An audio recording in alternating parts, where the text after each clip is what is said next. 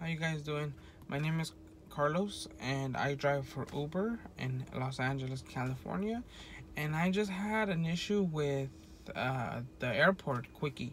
The other day I came here because it was surging really high and I uh, got to the lot and it says can I drink queue?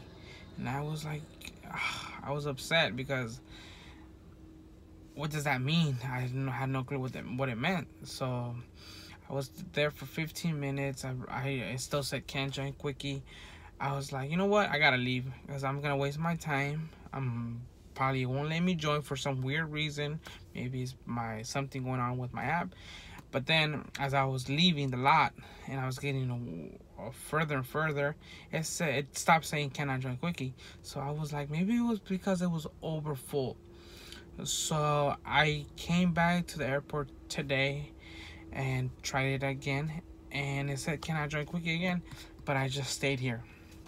I sat here for like extra 15 20 minutes and after 15 20 minutes it uh, started uh, it said it said lot full but then it ended up uh, and then it, and then ended up showing me the, the amount of people that were ahead of me so it worked but right now I looked at it and it said can I join queue after the 20th car but then it's it, it started uh, showing the amount of cars over ahead of me. So it, it's just a faulty thing that Uber has on its app. So don't disregard that if you're worried, and just wait for your just wait for your turn at the at the queue at the airport. Don't worry about can I join uh, queue. That's just misleading. So just to sit there and wait for your turn and don't worry about it. I just want to let you guys know if you guys had any concerns or worries about that feature on the on the app.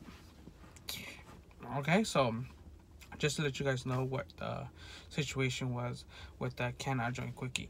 Uh, if you guys have any questions, I will be uploading more videos from now on um, because I drive in LA almost every day and uh, I do almost 12 hours a day and uh, yeah, and they the other day I called Uber and they told me I'm one of the top drivers in LA. So I was really excited about that. Uh, if you guys have any questions or any comments, let me know and I will reply to your comments.